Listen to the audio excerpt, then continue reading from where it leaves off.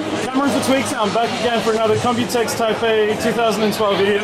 We're here at the ASRock booth, and we're here with Nick Shih and Suicide Phoenix from Germany, two of the overclockers here at the booth. Uh, Nick Shih has just, uh, and ASRock has just launched a new motherboard. Nick, Uh-huh. can you please introduce us to your motherboard? Yeah, hello everyone, uh, hello to the users in Tweaktown. And actually, uh, it is, I'm so glad that the, this motherboard can be completed before the Computex. And this is a new pure OC motherboard from ASRock. It's called Z77 OC Formula. And you can see the color is with black and yellow. And especially, we, we have all the designs for pure overclocking.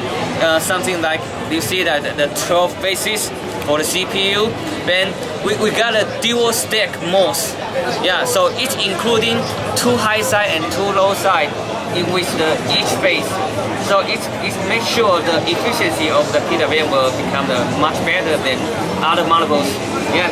Also you can see we have the four di digital uh, LED debug and also the plus and minus you can choose uh, you can use for the B clock or you use for the, the multiplier yeah, also this is eight layered PCB and two ounce. Yeah, and also the memory. We will show the memory frequency in the next few days because we can do each DIMMs with over 3 3000 um, the frequency of the memory.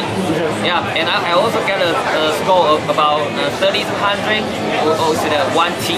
Three, uh, 3,200 megahertz Yeah, uh, memory at 1T. yeah, yeah, and with four DIMMs. And uh, which memory were you using? I use a G-Skill for sure. G-Skill memory. Okay, Yeah, very yeah, good. yeah, They'll be happy about that. Yeah, and I and you've broken some records in the last couple of days, right? Yeah, yeah, Can we you tell us? Yeah, yeah, we break in the records uh, for the two Ds. We got the uh, Pi Fast, got the Super Pi 1M with 7 gigahertz, and also the 32M, and also some 3D scores for sure.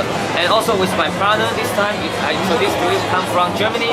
Joseph Phoenix, the best in Germany, also the top ro- overclocker in, in the world. So how about Joseph Phoenix talk to the audience?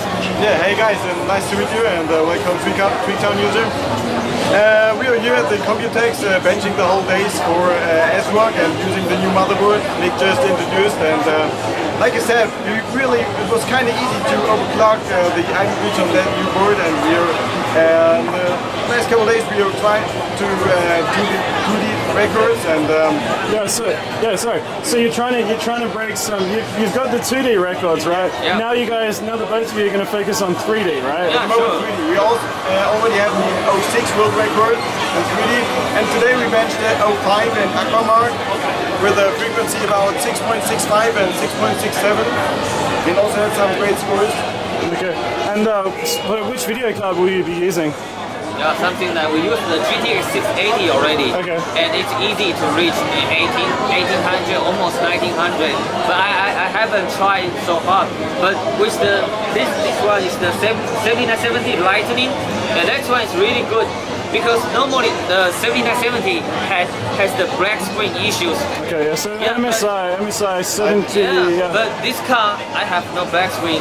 I can bench, still have the screen, and easy to get over 1700. So you will see that we will get very good score in the next few days. Okay, well thanks guys. So you, you know you're combining your new motherboard, the, the uh, Z77 OC formula Yeah. by yourself, and uh, also impressive hardware from MSI and G-Skill. So Yeah. thank you guys for your time and all the best uh, breaking uh, the more records. Yeah, thank you. thank you. Bye-bye. Okay. Bye-bye.